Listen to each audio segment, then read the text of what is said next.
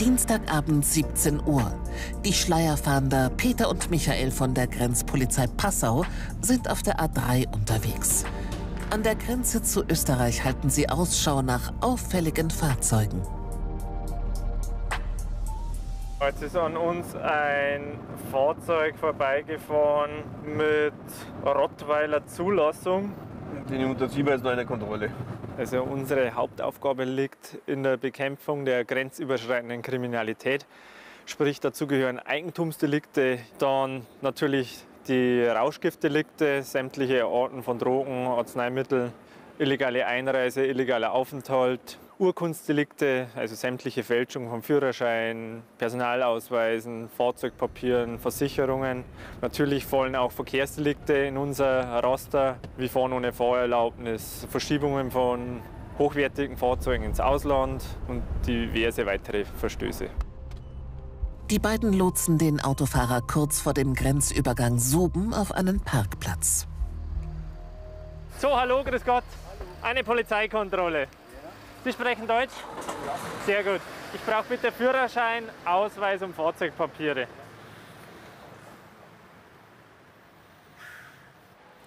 Genau. Dann brauche ich noch den Führerschein. Okay. Genau, wo geht es bei Ihnen hin, die Reise? Ungarn. Ungarn. Wie gesagt, Routinekontrolle, nichts falsch gemacht. Wir schauen auf der Autobahn nach gestohlenen und verbotenen Sachen. Jetzt ist meine Frage, irgendwas im Auto, was nicht erlaubt ist? Pfefferspray, Messer, Marihuana? Nein, Nix. Wenn gefunden, das ist nicht meine. Okay, okay. Genau. Steigen Sie bitte mal aus, dann schauen wir ins Fahrzeug rein.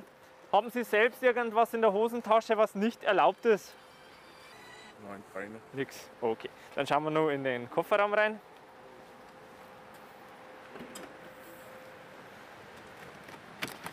Familienreise oder? Nein, ich gehe zu Hause. Komplett zu Hause. Dann Okay. Umzug noch. Okay. Sie ziehen quasi aus Deutschland Ja. na- weg nach Ungarn Ja. jetzt, oder wie? Ja. Sind Sie noch gemeldet aktuell in Deutschland? Abgemeldet. Abgemeldet. Ja. Okay. Genau. Äh, hast du Papier? Ja, schauen wir gleich alles nach. Ich schaue kurz ins Fahrzeug. Sie dürfen einfach bei Kollegen warten. Michael durchsucht das Auto. Bei der Auswahl der Fahrzeuge, die sie kontrollieren, verlassen sich die beiden auf ihr Bauchgefühl. Nicht immer landen sie dabei einen Treffer.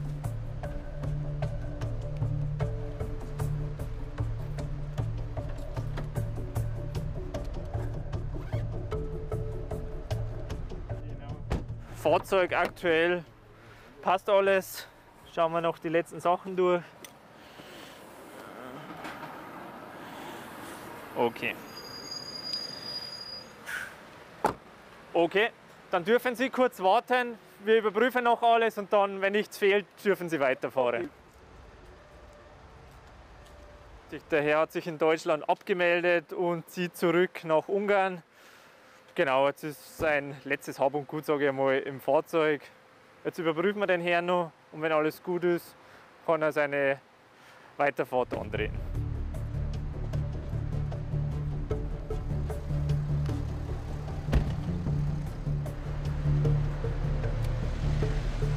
Die Schleierfahnder kontrollieren die Papiere des Mannes. Dabei fällt ihnen ein Aufkleber auf dem Führerschein auf. Okay, bei dem Herrn haben wir jetzt festgestellt, dass er eine unanfechtbare Aberkennung hat, das Recht von einer ausländischen Fahrerlaubnis Gebrauch zu machen. Wir haben jetzt auch den Führerschein. Der Herr hat in Deutschland zu viele Punkte erreicht, deshalb ist ihm von der zuständigen Führerscheinstelle das Recht aberkannt worden, von seiner ungarischen Fahrerlaubnis in Deutschland Gebrauch zu machen. Auf der Rückseite ist ein Deutschlandzeichen angebracht worden, ein Vermerk, das durchgestrichen ist. Das sagt uns, dass in Deutschland damit nicht fahren darf. Das gleiche sagt mir auch der Polizeicomputer. Der Herr hat jetzt ein Fahren ohne Fahrerlaubnis begangen. Ähm, Das teilen wir Ihnen jetzt mit. Die Weiterfahrt ist hier unterbunden. Jetzt müssen wir schauen, dass wir das Fahrzeug und die Person dann zur Dienststelle verbringen. Auch ausländische Fahrer bekommen Punkte in Flensburg. Bei diesem Mann sind es zu viele. Sie sprechen gut Deutsch oder ein bisschen Deutsch?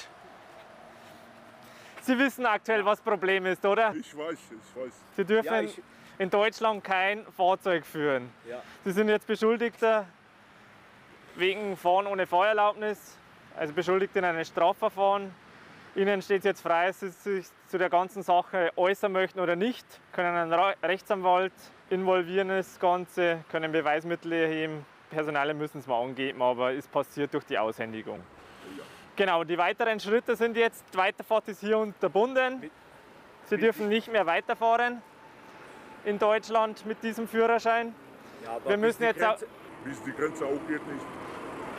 aktuell sind wir in Deutschland, aktuell dürfen Sie ab hier nicht mehr fahren. Ja, aber ich habe zu Hause bringt die Auto und, und äh, Naja, das nützt aktuell nichts, wenn Sie in Deu- Deutschland nicht fahren dürfen. Genau, wir fahren jetzt auf alle Mal auf die Dienststelle. Wir schauen, dass wir das Fahrzeug und Sie jetzt irgendwie auf die Dienststelle bringen. Alles weiter erklären wir auch bei uns auf der Dienststelle. Wir müssen kurz eine Vernehmung mit Ihnen machen, ein Protokoll aufnehmen. Und dann können wir uns darum kümmern, dass wir Sie und das Fahrzeug vielleicht irgendwie an die österreichische Grenze bringen. okay. aber Jetzt aber aktuell, jetzt, Aktuell dürfen Sie jetzt in Deutschland nicht fahren. ich weiß, ich weiß. Es, Und Sie sind ja bereits gefahren. Ja, Das ist das Problem. ja. Aber Okay. keine Leute. Welche zu Hause Ja, bringt die Auto. ja. Ja, das weitere, das weitere regeln wir dann auf der Dienststelle. Okay. Okay? Äh, soweit haben Sie es verstanden, oder? Sehr gut.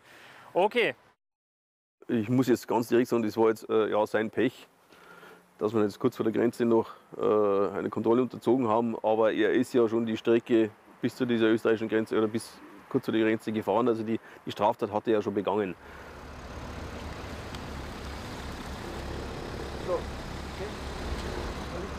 Wir haben jetzt äh, zur Unterstützung eine zweite Streife hinzugezogen, die uns bei dem Transport von dem Herrn auch zur Dienststelle behilflich ist. Wie gesagt, äh, der Michi fährt das Auto von dem Herrn mit dessen sein Einverständnis und der Beschuldigte fährt jetzt mit mir und mit meinem Kollegen. Der Mann muss mit zur Dienststelle. Später stellt sich heraus, dass er mehr als 200 Punkte in Flensburg hat. Im Lauf der weiteren Ermittlungen haben wir dann festgestellt, dass bereits hier äh, in, in Fahren und über 100 Fällen ermittelt wird. Und das Ganze jetzt sich natürlich etwas gezogen hat, nachdem wir dann mit Rücksprache mit der Staatsanwaltschaft gehalten haben und die Staatsanwaltschaft dann gesagt hat, dass er arrestiert wird bei uns bis morgen und dann morgen unser Ermittlungsdienst das weiter bearbeiten muss und die Möglichkeit besteht, dass aufgrund dessen jetzt auch muss. Inzwischen ist es dunkel geworden. Peter und Michael sind wieder auf der A3 unterwegs.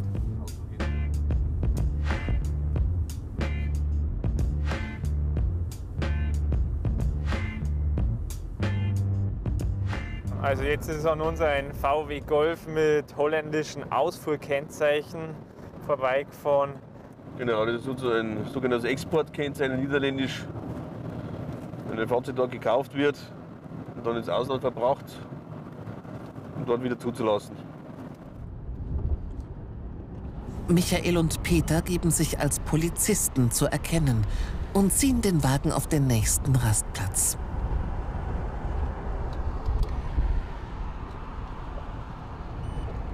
Gerade bei so kleineren Kontrollen, wenn das Fahrzeug ausgeführt wird, kommt es so schon öfter mal vor, dass sich teilweise nur mit etwas mit so einem holländischen Souvenirs eindecken. Doch dieser Fahrer hat ein ganz anderes Problem. Okay, da passen Sie kurz auf, ich belehre Sie Ganze. Ganz kurz, Sie sind jetzt Beschuldiger im Strafverfahren. Dieser serbische Führerschein ist nämlich eine Fälschung.